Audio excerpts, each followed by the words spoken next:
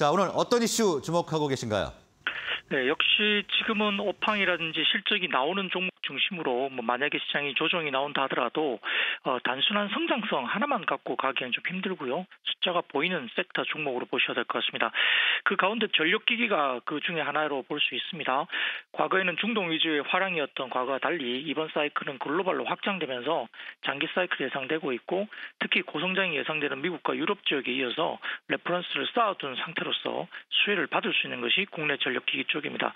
또한 글로벌 peer 대비 valuation 저평가가 과도한 상태로 볼 수 있는데 올해 글로벌 전력 수요는 1.8% 증가한 28.4와트 시로 예상되고 있고요. 2030년까지 연평균 3.1% 증가할 전망으로 보고 있습니다.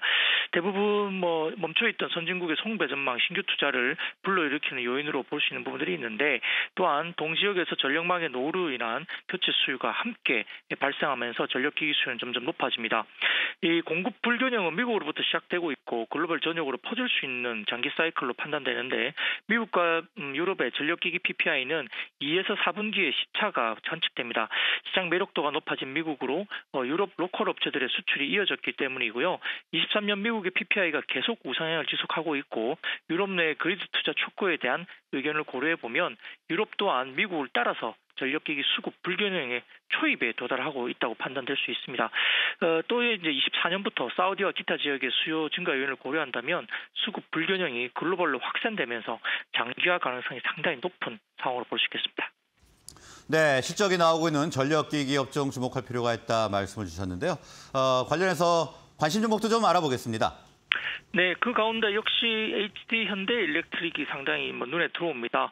특히 미국 시장의 선점 효과 그리고 이제 그 노출도가 가장 높은 회사이기 때문에 더욱더 성장성이 부각될 수 있는데 3분기 영업이익이 854억 원으로 전년비 125.9% 증가하면서 역시 컨센서스를 상회하는 실적을 냈습니다.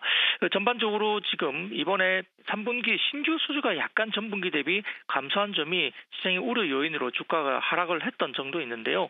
절대적인 규모는 최근 분기 매출을 상회하는 수준이고 수주 잔고는 역시 증가 추세를 유지하고 있습니다. 판가 상승 시도가 지속적으로 이루어지고 있기 때문에 영업이익률 개선 흐름은 중장기적으로 확인될 전망이고요. 지금 이번 3분기 영업이익률이 10%를 초과했습니다. 과거의 BEP나 적자 정도의 영업이익률을 구가했던 시기가 최근에 몇 년 안 되는데 벌써 6%대 쪽에서 이번 3분기에서는 10% 이상으로 지금 영업이익률이 올라가고 있다는 점은 결국 수요가 역시 탄탄하다 볼 수 있습니다.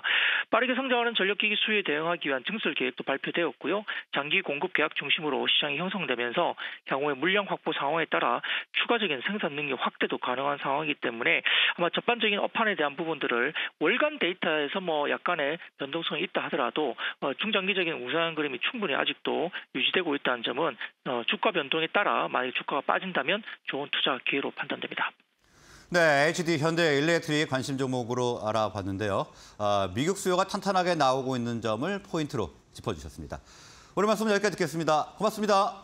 감사합니다.